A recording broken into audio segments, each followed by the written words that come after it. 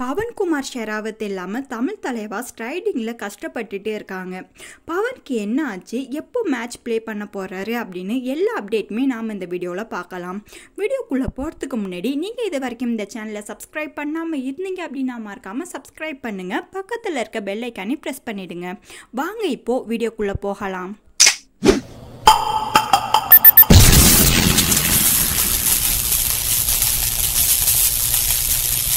பவன்குமார் ஷெராவத் தமிழ் தலைவாஸ் டீமுக்காக முதல் மேட்ச் விளையாடும்போது அதில் ரெண்டு ரைடு மட்டும்தான் அவர் பண்ணார்.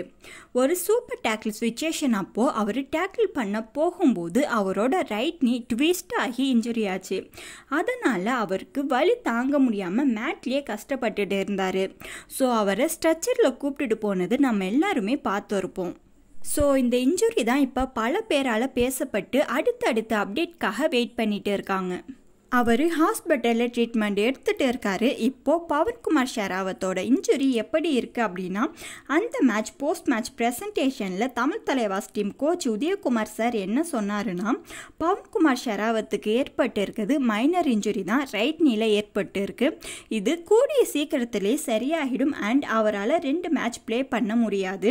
ஃபோர் ஃபைவ் டேஸ் ஆகலாம் அவர் திரும்ப மேட்ச் ப்ளே பண்ண அப்படின்னு சொல்லியிருந்தார். அதனால் லாஸ்ட்டாக நடந்த ஹரியானா ஸ்டில்லர்ஸ் வெர்சஸ் தமிழ் தலைவாஸ் மேட்ச்சில் கூட அவர் ப்ளே பண்ணாமலே இருந்தார்.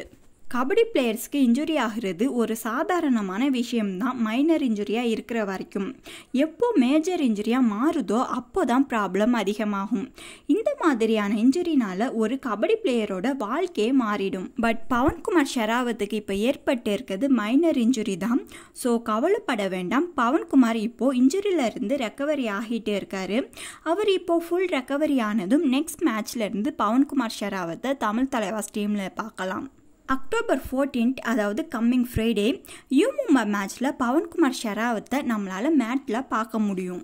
இன்ஜுரியிலேருந்து ரெக்கவரி ஆகி வர பவன்குமார் ஷெராவத் எப்படி ப்ளே பண்ண போகிறாரு அப்படின்னு வெயிட் பண்ணி பார்க்கலாம்.